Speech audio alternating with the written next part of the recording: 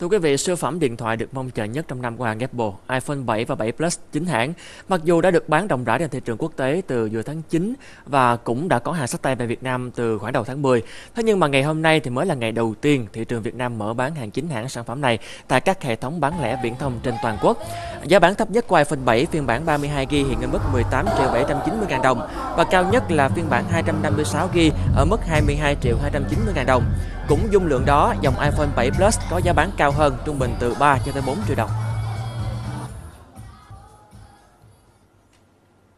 Vâng đến hẹn lại lên, mỗi lần mà Apple tung ra thị trường những phiên bản iPhone mới thì hầu như đều tạo được một sức hút hấp dẫn với người tiêu dùng. Ở sức hấp dẫn của bộ đôi iPhone 7 và 7 Plus chính hãng như thế nào trong ngày đầu tiên mở bán tại Việt Nam thì phóng viên Quỳnh Mai sẽ thông tin tới quý vị ngay sau đây. Phải chờ đến gần 2 tháng sau khi ra mắt ở thị trường Mỹ thì người tiêu dùng Việt Nam mới có thể sở hữu chính thức hàng chính hãng của bộ đôi siêu phẩm điện thoại iPhone 7, iPhone 7 Plus này. Háo hức, phấn khích và hài lòng là những cụm từ có thể miêu tả được chính xác nhất tâm trạng của những người đầu tiên sở hữu sản phẩm này.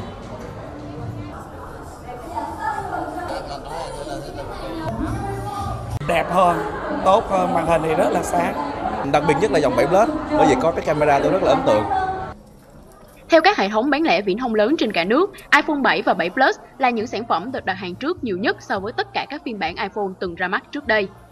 Trong vòng có 7 ngày đặt hàng trước thì à, cái số lượng đặt hàng trên mạng nó đã lên đến khoảng 15.000 máy à,